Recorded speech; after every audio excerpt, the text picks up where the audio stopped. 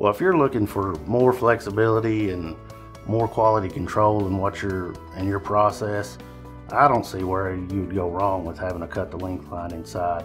You're able to control what you are doing whenever that process is brought in house.